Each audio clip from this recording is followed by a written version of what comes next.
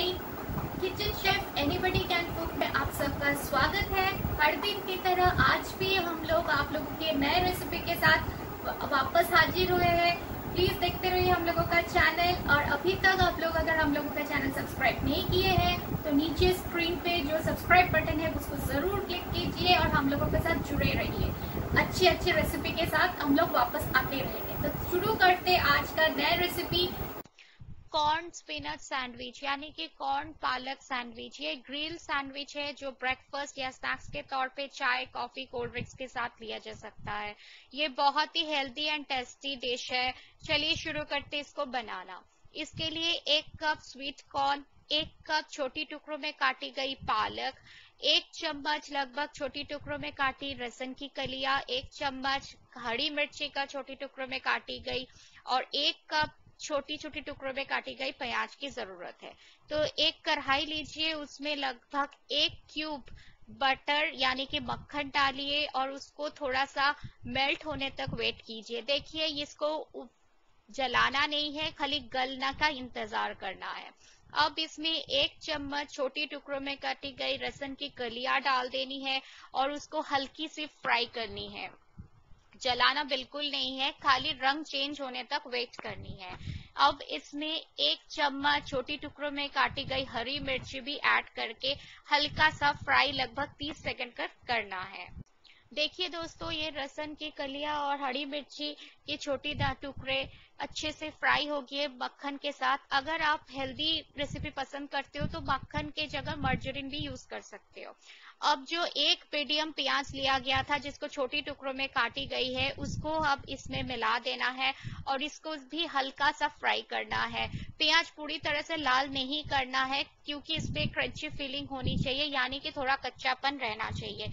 तो लगभग एक मिनट तक अच्छे से इसको हम लोग भून लेंगे। देखिए दोस्तों, प्याज पक के तैयार है। अब इसमें जो एक कप छोटी छोटे टुकड़ों में काटी गई स्पिनच यानी कि पालक है, उसको डाल के, उसको भी मिला के अच्छे से हम लोग इस पे फ्राई करेंगे। पालक देखिए, प्याज के साथ अच्छे से फ्राई हो चुकी है। अब इसमें एक कप स्वीट कॉर्न डाल के एक दो मिनट हल्की आँच में फ्राई करना है। कॉर्न पकने में बिल्कुल टाइम नहीं लगता है। इसमें टेस्ट देने के लिए मायनीज सॉस यूज़ करना है। अब यहाँ पे डॉक्टर यॉकर का वेज मायनीज हम लोग यूज़ किए हैं। लगभग तीन चार चम्मच मायनीज डालनी है, जो टेस्ट और कलर देगी। स्वाद अनुसार नमक डालिए। इसको हल्का तीखापन देने के लिए हम लोग चिली फ्लेक्स काया का यूज़ कर रहे हैं। काया कंपनी का चिली फ्लेक्स बहुत ही अच्छा और कलर देती है और इसमें अच्छा सा फ्लेवर भी आ जाता है। अब इस सबको अच्छे से मिला के हम लोगों को अच्छे से इसको ढक के हल्का पकाना है। तो लगभग ढक के हम लोग मीडियम फ्लेम में पाँच मिनट तक इसको पकाएँगे ताकि कॉर्न और पालक जो है वो पक के तैयार हो जाए। देखिए दोस्तों, ये स्टफिंग हम लोगों को बिल्कुल तैयार है। इसको हम लोग एक बावल यानी कि एक पतीले में निकाल लेंगे। देखिए, ये स्टफिंग कितना अच्छा दिख रहा है, जितना अच्छा दिख रहा है, उतनी ही टेस्टी होती है और इसमें फुल ऑफ़ फ्लेवर और विटामिन भी रहती है, क्योंकि इसमें कॉर्न और पालक का यूज़ किया गया है। बच्चों को भी दीजिएगा, ज़रूर बच्चों को भी पसंद आएगी। अब यहाँ पे हम लोग सैंडविच व्हाइट ब्रेड लिए हैं, जिसमें ये जो स्टफिंग बनाए हैं, अच्छे से उसमें हम लोगों को स्प्रेड कर देना है।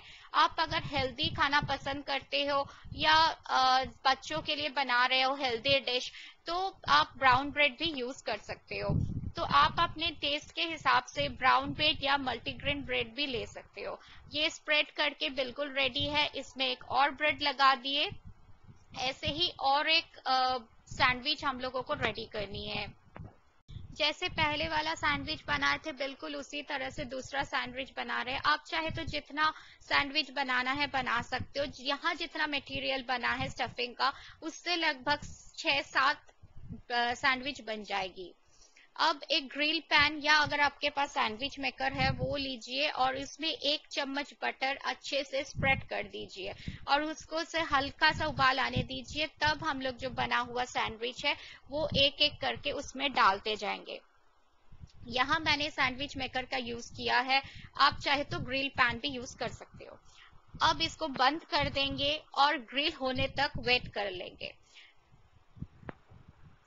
अगर आप ग्रिल सैंडविच मेकर यूज़ कर रहे हो तो इसका लाइट जलने तक ज़रूर वेट कीजिएगा ताकि ये फुल्ली पक जाए। देखिए, लाइट जल गई है, यानी कि हम लोगों का ग्रिल सैंडविच बिल्कुल तैयार है। देखिए, देखने में कितनी अच्छी बनी है ये ग्रिल सैंडविच, कॉर्न पालक सैंडविच। सो, ज़रूर अपने किचन में ये ट्राई कीजिए, बहुत ही टेस्टी एंड हेल्दी डिश है। तो जो लोगों को हेल्दी ब्रेकफास्ट पसंद है, वो लोग इसको ब्राउन ब्रेड और मर्जरिन के साथ ज़रूर ले सकते हैं। ये रेसिपी अगर आपको अच्छी लगी तो वीडियो में कमेंट लाइक और शेयर करना मत भूलिएगा। और हम लोगों का चैनल ज़रूर से सब्सक्राइब कीजिएगा। आगे रेसिपीज़ भी आपको मिलती रहेगी। Thank you